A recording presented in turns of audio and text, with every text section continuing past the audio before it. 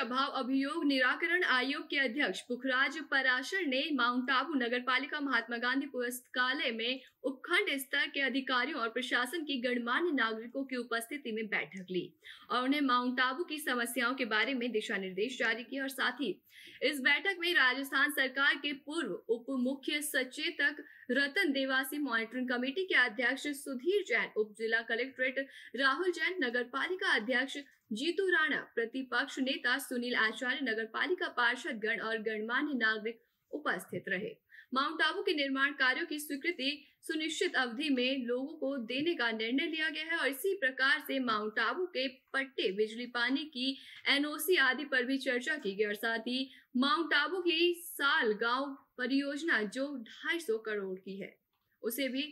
करने की दिशा निर्देश दिए गए। कि जिस प्रकार से ये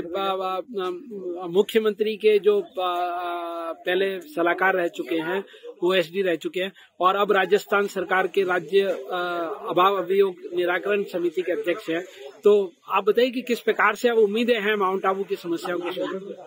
कुछ दिन पूर्व हमने देखा था कि यहाँ पे जिला कलेक्टर आए थे और इतिहास में पहली बार जन सुनवाई हुई और उसके बाद कार्य भी हुआ। जैसे लोगों ने उनको परेशानियाँ दी तो उस पर कार्रवाई हुई। और आज हमने देखा पहली बार राज्य मंत्री से सीधा संवाद कर पा रहे जनता का आम नागरिक। तो जो मॉनिटरिंग कमेटी गठित होने के बाद ये जो कोशिश है, जो पहल की गई है, ये काफ़ी सराहनीय है। और जिस तरीके से राज्य मंत्री ने आश्वासन दिया है और उसी समय अधिकारियों को भी नियुक्त किया गया आपको इस समय इस समय तक ये कार्य पूरा करना है तो निश्चित ही लोगों की आशाएँ बढ़ी है। उपखंड अधिकारी ने भी जिस तरीके से आश्वस्त किया कि पट्टे के लिए वो खुद इसकी मॉनिटरिंग करते हुए लोगों को ज़्यादा दिलाने की कोशिश करेंगे तो बिल्कुल माउंट आबू में जो पहले पहले आशाएँ रहती थी, उससे उपरांत अब लग रहा है कि ये चीज़ें